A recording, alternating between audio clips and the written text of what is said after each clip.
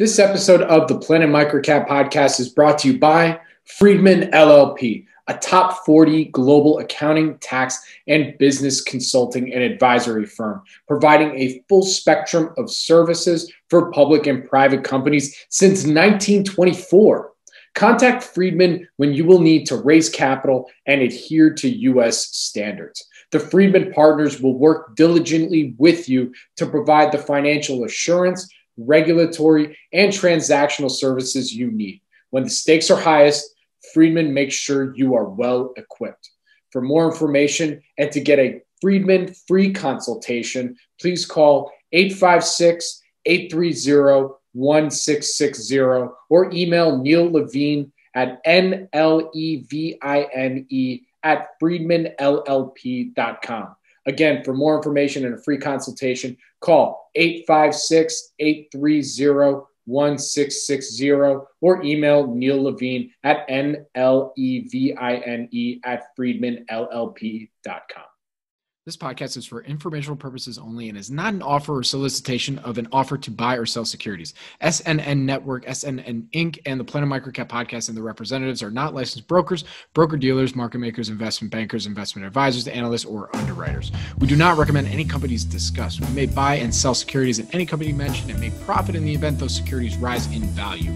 We recommend you consult with a professional investment advisor, broker, or legal counsel before purchasing or selling any securities referenced in this podcast. Welcome to the Planet Microcap podcast. I'm your host, Robert Kraft, and thank you all so much for the support and for tuning in.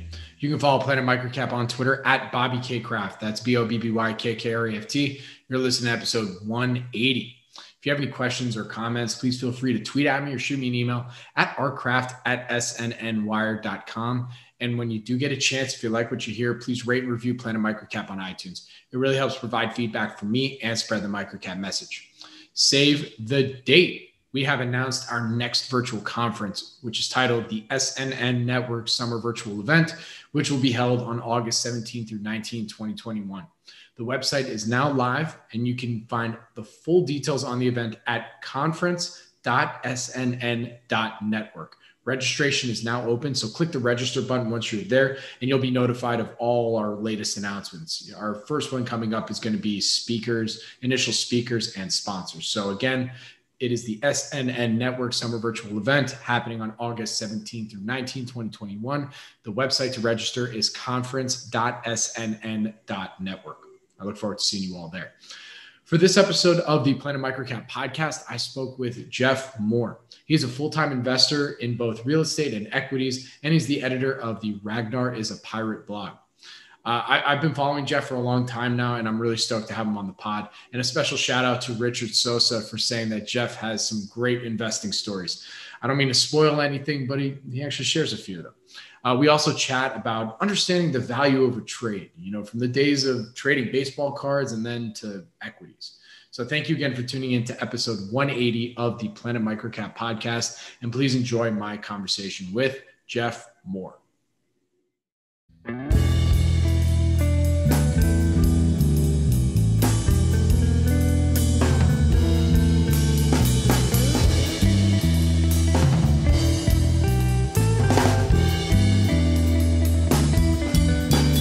Welcome back, everybody, to the Planet Microcap podcast. I'm your host, Robert Kraft. You can follow me on Twitter at Bobby K Kraft. That's B O B B Y K K R A F T. And joining me today, uh, this is somebody that I've been following on Twitter for a while now. Um, and uh, he's got a blog called Ragnar is a Pirate. He's got a big bet going on where there's a whole bunch of people that might get tattoos uh, if, if certain things hit.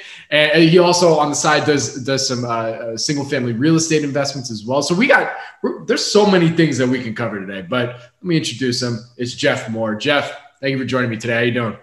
Hey, good. Thanks for having me, Bobby. It's great to have you on, man.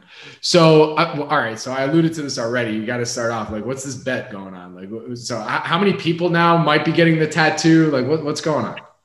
Yeah, so we're up to 15 people on it, and it was something I, you know, just kind of bullshitting about, and uh, throw out a crazy price target for my, my favorite stock holding, uh, and, and actually I I mostly have warrants in it, is uh, Thryv.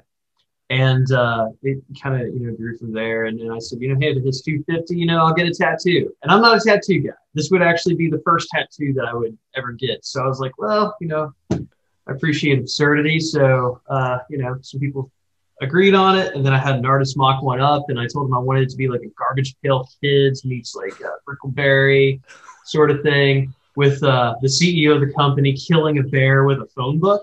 And so I had a couple mock-ups made, and maybe we can get a poll going or something for which one of these I would get. But like, you know, we've got this one right here. Oh, that's so good.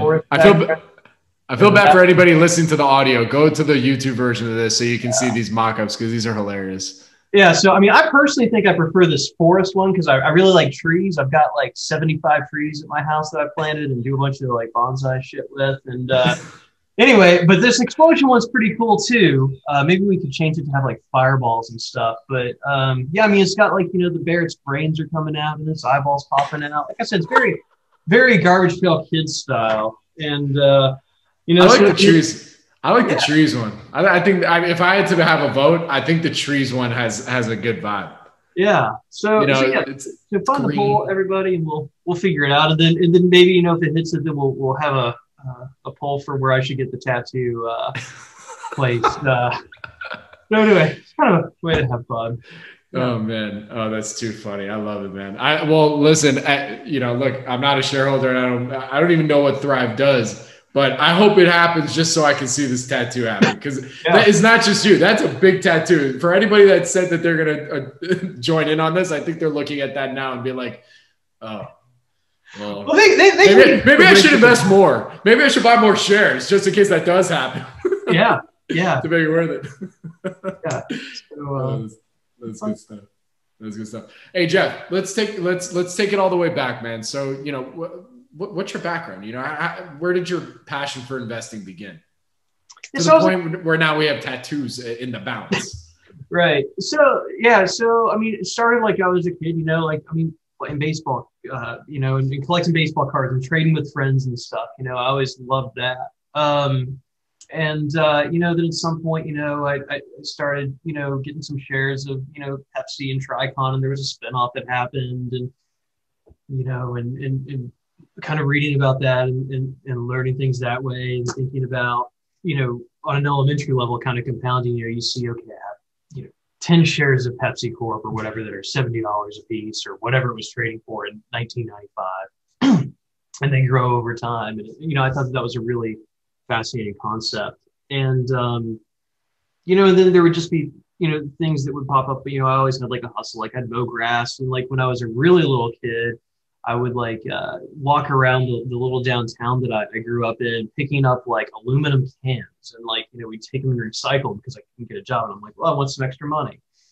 Um, just random stuff like that. And so you know, at some point, you know, when I was like, uh, I guess 18, I got a job in a pawn shop that I, I, I loved. It's probably my favorite job I've ever had. And, um, you know, I, I got to, you know, play with gold and guns and guitars all day and uh, you know we get to figure out the values of these things and lend money against them and, and all that. And then at some point you know i started buying stuff from pawn shops and selling it on ebay and kind of exploiting these like little microcosms where somebody doesn't know what they've got right? And um, it's amazing what you could do if you kind of develop a niche for that. Um, you know i mean in college i actually financed all of my partying off of going to pawn shops in lexington and I, I, can't tell you how many TI-83 calculators I bought for $25 and sold for 70 on eBay. Um, you know, stuff like oh, that. Oh, that's my, that is like my yeah. favorite line, I think, of the podcast that I've ever heard. Oh, yeah. that's so, that's so, I, I know the TI-83 calculator, you know, yeah. I think anybody who's ever had a math class, I think that's in our mm-hmm. age range, like knows the TI-83. Yeah. Oh, that's so funny yeah, so that and then like you know my my, my grandparents they probably had like 30 rent houses and my uncle he, he grew a, a, a decently sized single family real portfolio and I kind of saw what they did with it and then at some point I was like okay well you know I'm in college now I can you know either have my parents pay for me to live on campus or rent from somebody else or I can just buy a duplex. So I used money I had saved up uh, from stocks and stuff down payment on the duplex. Um, you know, refinanced at the, at the peak of the real estate bubble. uh, cashed out a whole bunch of money, paid cash for some townhouses, did some creative financing, rolled that over into others, and you know kept doing the stock stuff. Um, you know, would read on that, and you know, I, I read a book on Warren Buffett, kind of figured out he talked about Ben Graham a lot, so maybe I should look up Ben Graham. So I read The Intelligent Investor. Um, I actually almost got kicked out of a couple economics classes because I was reading it in the class while the professor was lecturing.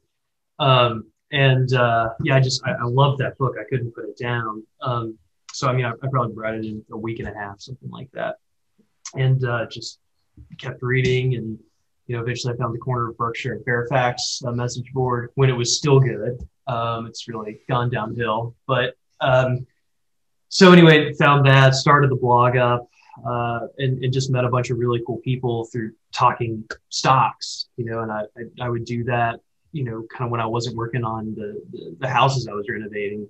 And, um, you know, so there was kind of a split of time. And, um, yeah, so just kind of continued with that. And, you know, at some point, you know, that, that, that got us to where we are now.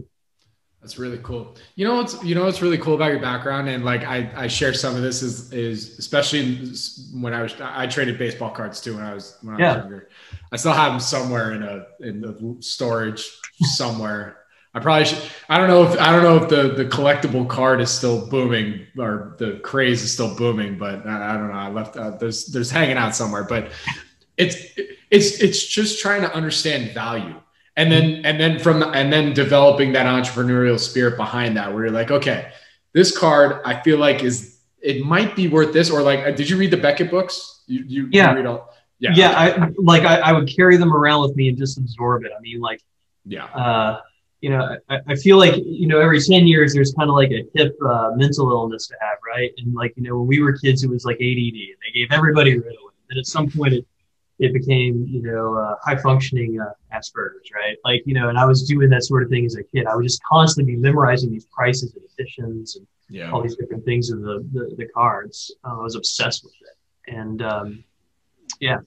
Yeah. No, I was that same. And, but like, and then once you were able to understand, like, things have value and there are people that then want to take these things and might want to buy it from you for more because they think that it's worth more like it's it's it's interesting how you that like just that that one experience baseball cards of all things and it helps you and it, and it kind of it shows you the path of like well not just what business can be but just being an entrepreneur and all these other mm-hmm. areas that you can then go and make money and, and apply that those same principles to you know yeah, yeah, and and something that I kind of wonder is like you know you, you look back at you know the friends that you like did ball cards or like I I, I there was this uh, game kind of like Magic the Gathering that I really oh, liked yeah.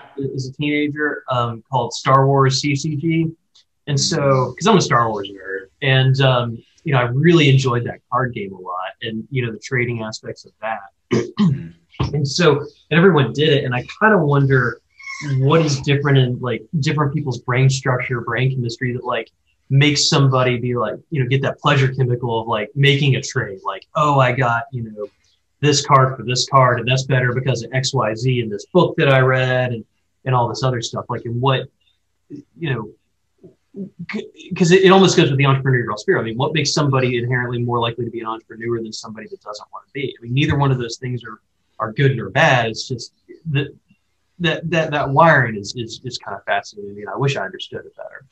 I, you know, let's talk. I mean, I, I do too because I think back at those times and I'm like, would my friends want to keep trading? Like, let's say you know, all else things being equal, let's say like we were still you know trading cards up until this day. You know, like would they still want to do that trade with me? You know, if if uh, I, let's say I had because like I was I was I I was a Knicks. I'm a Knicks fan, and I was. I mm-hmm. am a Knicks fan, and mm-hmm. but I was. I always was a Michael Jordan fan too, because oh, I yeah. was like, I know he's gonna kill the Knicks. It's fine. Like I mm-hmm. just, what are we gonna do? There's nothing we can do. Um, so like I always focused on trying to collect as many Michael Jordan cards and whatever capacity. Like I had like the Tar Heel, like when he when he was on the Carolina Tar Heels, like not even like a real card. It was like a, it was almost like a cardboard thing, but I didn't care. It was just like, give me as much Michael Jordan stuff. So I would make certain trades. It's just like, yo, you want this rookie Stephon Marbury card for that Jordan. I, I, that might not have been the trade. I'm just thinking for example because this is what like 90 when, when Marbury get drafted. I, maybe, maybe it was uh it was it was a, a Camby.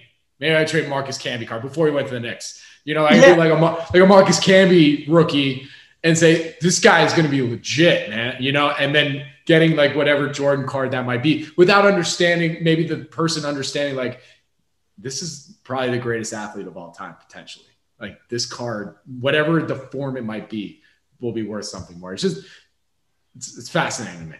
Right. Yeah. Absolutely. And it's funny to think of. uh of uh, Stephon Marbury and Marcus Camby and stuff, you know, growing up. Like I, I hadn't thought of those names in a while. Um, yeah. yeah. It's, it's, it's, funny thing back to like that early, that like late '90s time. I mean, I, I'm 32, so like for me, like my formative like sports years was '96 mm-hmm. to like 01 you know yeah. and so and being a yankee fan at that time i was out i'm a jeter you know neophyte i guess mm-hmm. you'd say and so like you know that that's when it was a it was a fun time to be a New York fan. That's for sure. I mean, Knicks were always in it. Rangers had Gretzky for a couple years, and then yeah, you know, the Giant Giants sucked. But like you know, everything else is good.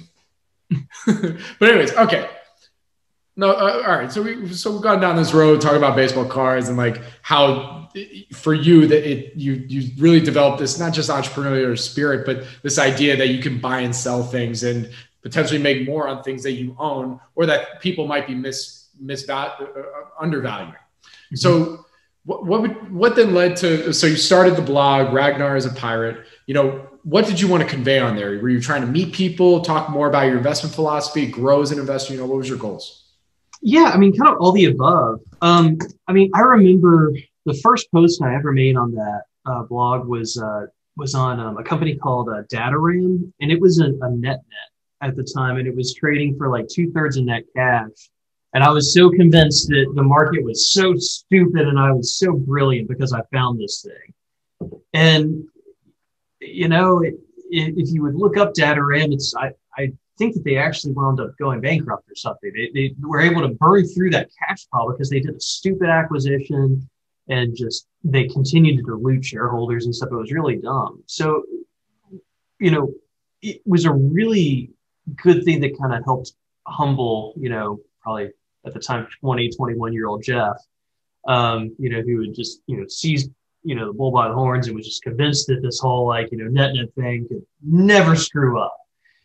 And, um, you know, I, I was lucky with that one because I, you know, I think I made some money on the trade because it, it traded up, you know, and then I sold it once it was above net cash. But that that saved me from other dumb mistakes in the future because I, I, I kept looking at it, right? So part of it was like, you know, to almost like a, a way of keeping track of your record, right? Um, and uh, but but the other thing too, I was like, well, you know, like you know, th- this would be a good way to meet people and, and talk cool stock ideas with. Um, you know, because I was really active, you know, again on, on the, the, corner of Berkshire, met a lot of really cool people on there. Um, you know, who actually wound up doing, a, you know, fair bit of business with. Um, you know, met some of the smartest people I've ever met, uh, ever because because of that. I mean, you know, the, the you know the list is pretty long, and and and you know ultimately like yeah, I mean, just the more you're talking to people, the, the better it is. And, and, that's kind of migrated to Twitter, I think, um, which is just a, a, really great place to, to talk stocks and uh, whatnot. But yeah, I mean, there was a networking aspect, you know, kind of seeing your record and, you know, ultimately just getting your ideas out there. Um, you know, it, it's really kind of fun to do that and, and kind of see the, the feedback that you can get from people. I mean, um, you know, you, you can get a lot of feedback that way. And, and, and also when you start talking to people, things that you've done may spark something in their head that makes them think of something you could look at. And then you can kind of bounce that back and forth and, and think of different ways to assess value of things. Absolutely. So I'm gonna. So uh, maybe maybe uh, you you mentioned that you're a Star Wars fanatic. I'm assuming Ragnar is a Pirate has something to do with Star Wars. Does it? Or? No, no. Okay. Um, no, I, I read Atlas Shrugged when I was like 17 or 18. Okay. Um, my brother got me a copy of it, uh, and uh, I read it, and it's one of the characters in the book, and I thought he was a pretty cool character. So you know. There you go. That that shows you how well read I am. You know. A lot of people would say you're not missing out on Ayn Rand. Uh, no. you know. I'll, I'll, get there one day. You know, maybe I'll, you know, one day. I got all these. I, you know, what you think I read all these books? Yeah, you know, this is this is a half for show right now. You know, is, that, is it Paul Johnson's American History uh, there in the middle? The one that's red, uh, white, and blue in the middle. Yeah, right here. Yep. Yeah, Did I've got that, that one. Uh, man, I I had a job at Kroger in college where I worked like night shift at the register before they had U-scans for everything, and I would read that uh, um, at, at night when no one was was was you know going through the checkout line. I think I mm-hmm. got like halfway through it, and then I wound up quitting the job to actually go work at a pawn shop and uh, just kind of put it down. And that was 15 years ago. I should I should pick it up. I've still got it. Um, it's kind of, kind of interesting. That's awesome. Yeah, I bought because so the, I bought this book, The American Jeremiad, and um, well, I don't have and no bird can sing, but it's um, or no wait, it is and no bird can sing. Anyways, it was a thesis that I was writing on in college about you know talking about the the green evolution and like you know was this born out of out of science or or was there a mix of marketing involved? It, I'm, I'm, blanking on the actual how i had the thesis i thought it was a really good one at the time but then i realized that like this is going to take me years to write this. I only had a semester and it was like the last and it was like the last one. I'm like i'm raging so um, yeah. I I, but the books look good you know? Yeah, yeah. American Jeremiad that was i actually i read that one. That one that one's a very good book but um, all right, going back to your investing philosophy. So catch us up. You know, what what what kind of what type of investor would you say you are currently, and, and how has that changed over the years? Um. Well, I mean, I, I used to be strictly like a net net guy, and I really wanted to buy stuff under liquidation value. And I don't know if I kind of changed that because you know the the market for that kind of dried up.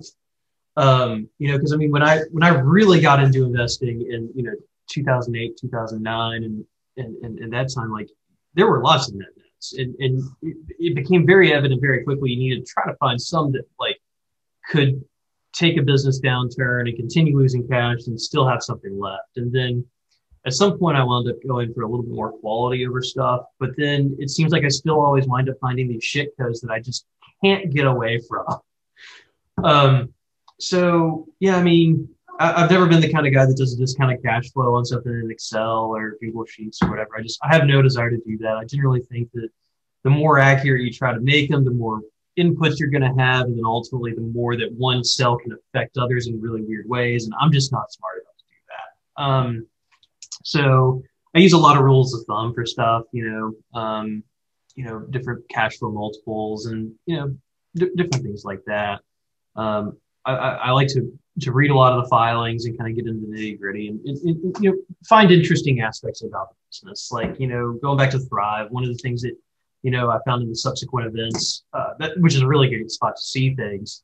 Um, you know, in the last 10Q, they had a bunch of, they had like a million warrants redeemed, right? So right now, the financials you see on Google Finance or Yahoo Finance or Morningstar, wherever you're aggregating your data from, you know, it shows that they've got probably $14 million less in cash on hand than they actually have um, because of the warrant redemption. And, you know, things like that are kind of interesting. And, you you know, certain things, I don't know that an AI program or, you know, um, data scouring tool or something would ever be able to really detect um, and, and, know the true meaning behind something. Um, you know, and uh, yeah, so so just you know, reading and you know, it's, it's kind of a non-answer, right? I mean, you just kind of go where you think value is, and if you see something that you think's worth more than you're paying for it, like you know, you want to buy it. And sometimes you make calculated bets on things, right? I mean, yeah.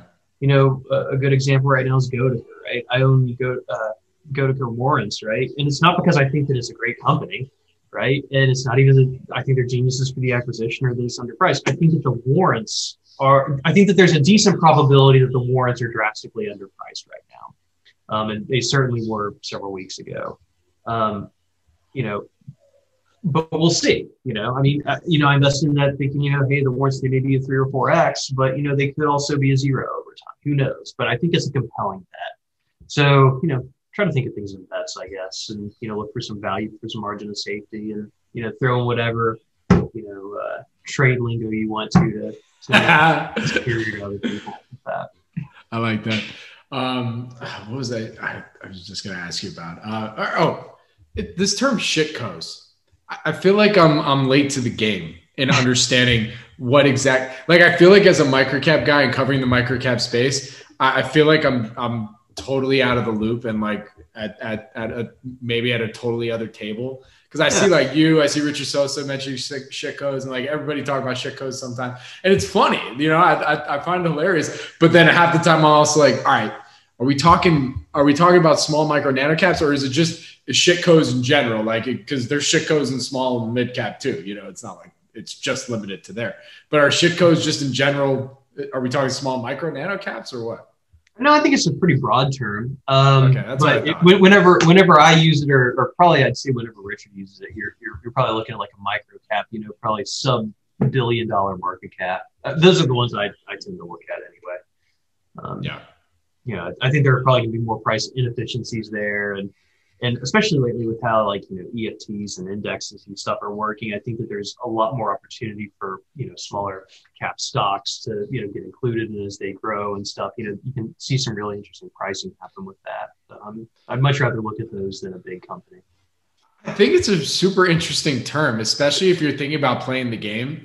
You know, mm-hmm. you're thinking about certain trades and you're thinking like oh yeah, shitcos. You know, it's uh, just like, I hunt in shitcos, and it's just like, oh yeah, he hunts in shitcos, and it's like, meanwhile, you're like, oh, this one, there's some value here, like this connection. Yeah, yeah. Oh no, my shitco is like less shitty than all the rest. You know, this is a real, real, real winner. Um, and it's it's funny because like the, probably one of the first ones that I, I, I looked at that I was really kind of uh, I don't know if the right is the right word, but but uh, taken by right was you know ALJ Regional Holdings, right? I mean, I, that to me is like a, a great example of, of a shitco. You know, I mean, it's it's constantly been overlevered, but management seems to be pretty smart. I mean, Jess is a really sharp dude. I mean, there's no doubting that.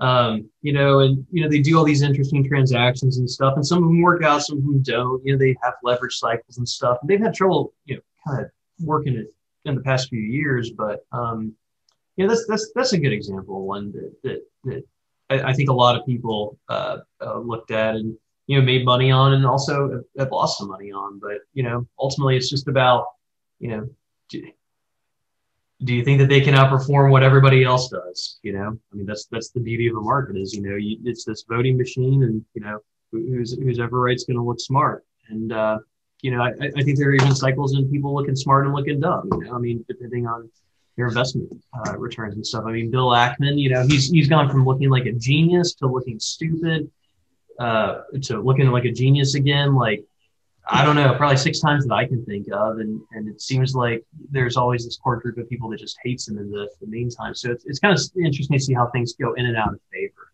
Um, oh, absolutely. Yeah, especially. I mean, it, it's you know you're taking a risk when you you're putting your thoughts and your ideas out there, right? You know, because you're making a heavy stance. Like this is what I think about this. This is the bet that I'm making on that. You know, so you're opening yourself up to you know, well, on the positive side, agreement but then on the negative side, like getting some potential criticism, you know, and it's it's just the choice that you have to make, especially. But it, I, I think most good investors want that feedback, even especially on the negative side, because you want to be proven wrong.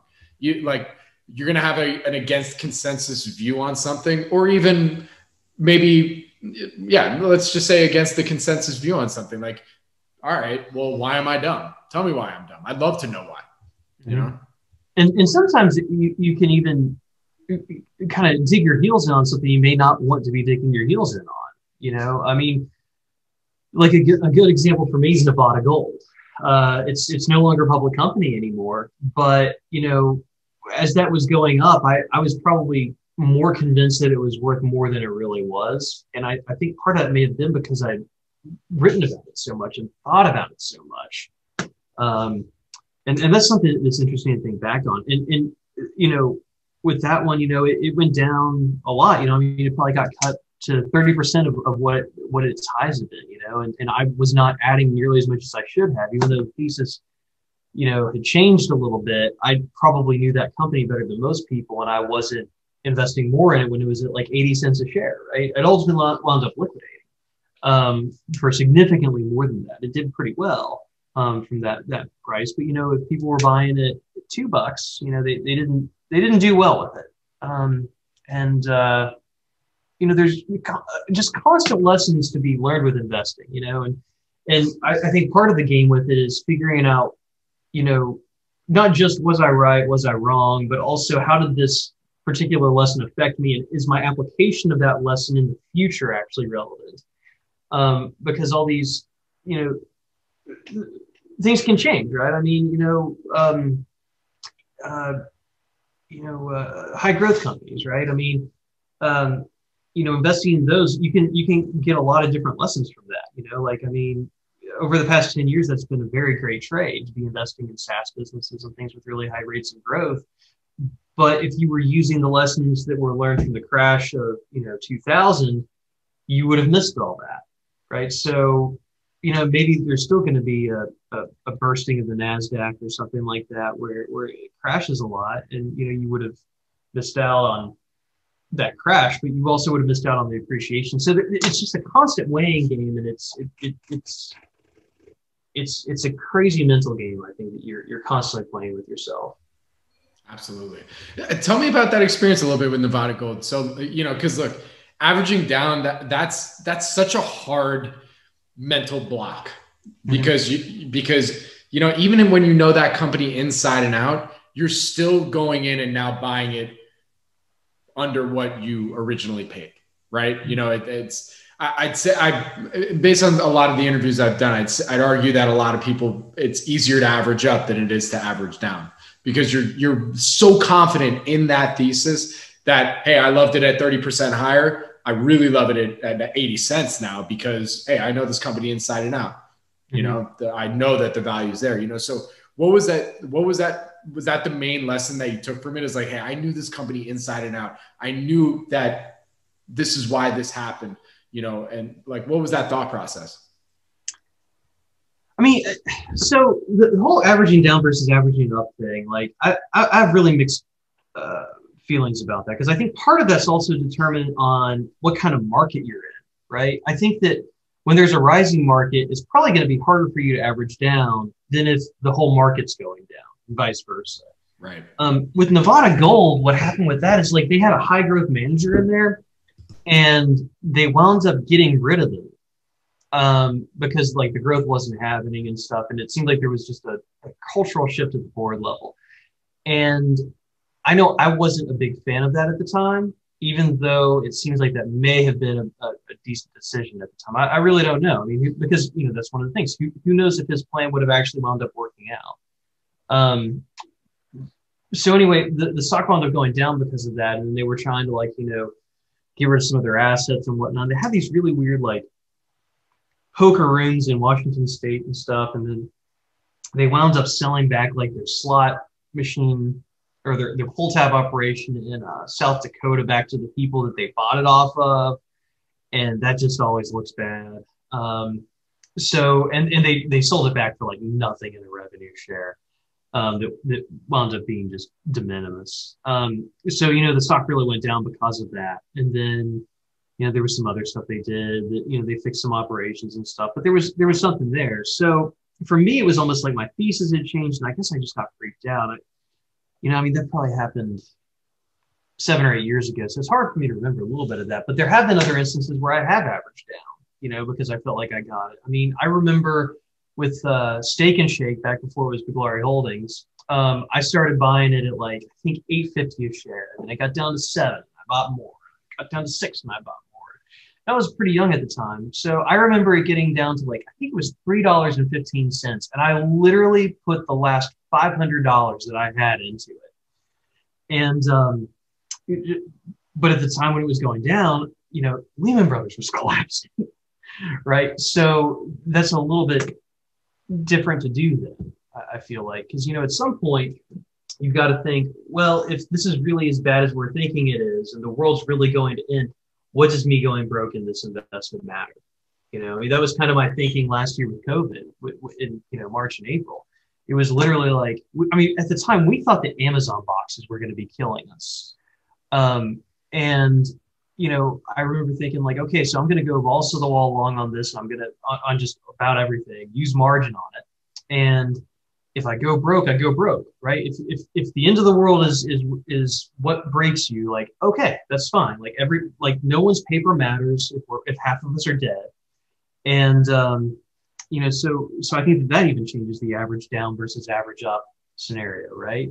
Um, and I know that in the past year, it seems like it's been very hard for people to average up, you know, because when you see something like, you know, speaking of Sosa, right? You know, he really likes DFIN. Um, which I don't own. I, I owned it a little bit, but um, you know, I hope to own it at some point in the future. But you know, when you look at that thing and it's trading for 30 bucks or whatever it's trading for now, and you're saying, man, in like May of last year, I could have got it four bucks. I just don't know there's any more room to run. You know, you may be making a really big mistake with that. Um, same thing, you know, people were saying that when it was at 20, people were saying that when it was at 10. But obviously, buying it at 10 or 15, you would have done really well and doubled your money in less than a year. So, you know, I, I don't know that anyone's really smart enough to even know how the lessons that they've, you know, quote, learned in the past can actually apply them in the future. I, I, I think there's a lot of randomness with that and uh, probably some survivorship bias. Um, well, you well, you brought up a really interesting point when it comes to thinking about averaging up and averaging down. It's something I, I hadn't really considered. Is like, you know, and and and this is coming from two guys. I, I wouldn't say we're macro guys, right? Like, oh, no, it, it, yeah, like it's nice to not, not uh, that's maybe not the right word, but like in those instances, you should be considering, all right, what's going on? What's is is the market absolutely tanking? Is there a lot of froth? You know, how how should I mean, you know, if you're looking at small micro nanocaps, for the most part, it's not really correlated to the to the main markets, of course. You know, that's where we find the inefficiencies. That's why we're in it, blah, blah, blah. You know, but at the same time, when you're starting to think about, well, is everything just everything frothy right now? Is everybody just continuing to push, you know, push this up, or is the market going to complete shit, but the comp core company is still in intact? You know, it's interesting to think about some of those other dynamics at play rather than just, you know, saying, "Hey, I'm going to hold it here," but without considering some of the other things that are going on yeah like like what like what else could you put your money into right now that would be a better investment than what you've got? You know i, I think that's something to consider too. Like um you know because everybody's talking about how the market's I, I say a lot of people it seems to be the narrative that the market's very high right now. It's like okay maybe it is maybe it is i i, I don't know. I mean you know if you have negative interest rates someday then the market will look very very cheap right now um, I ultimately don't know what's going to happen with that. All I know is this reminds me a whole lot of 2011, 2012, right? The market, everybody was talking about a double dip recession then and convinced that, you know, every, you know, inflation was going to pick up and we were going to get in this inflationary death spiral. And then at some point there was the stuff in Greece that was uh, going on and everyone thought that the European financial system was going to collapse, you know, Brexit. Spain, Italy, yeah. Brexit. I mean, there was all this stuff, right? And you know, now looking back on it, I even have trouble remembering some of the countries that were involved in that. And I think other people would too, if they're honest about it. Um, and it's just kind of a blip, right? So remembering back to, to those things, like you're, you're going to have a little bit of bias to what just stuck with you, right? But, you know, and, and part of what reminds me of what makes now remind me of that, that period is again, you know, people saying everything's frothy, but I'm still finding companies that are relatively compelling, right? I mean, like, you know, for example, Thryv. That's, you know, that's my biggest position. I own warrants in it. I think it's a very interesting business. I think Tile Shop's very interesting. I think that, um, you know, I don't own it, but I think DFIN interesting. You know, um, one of my one of my buddies, Chris Olin, you know, he's really big on franchise, right? That's probably very attractively priced.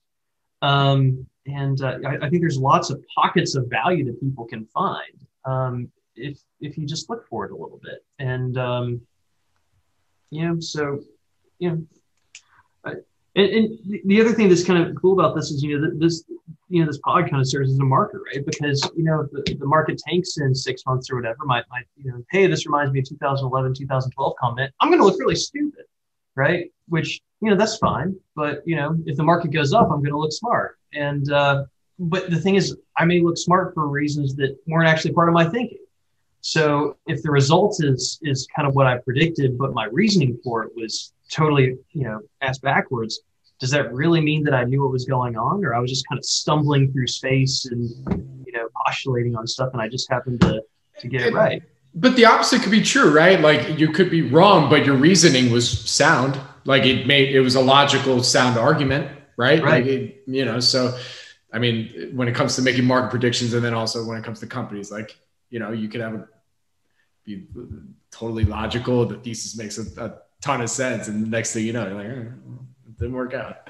Right. Um, hey, real quick on some of the names that you said, Tile Shop, um, earlier ALJ. Um, are, are you shareholder in any of those?